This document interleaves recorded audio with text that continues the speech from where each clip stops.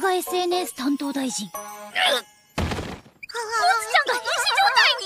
お父さんどうしたの死なないで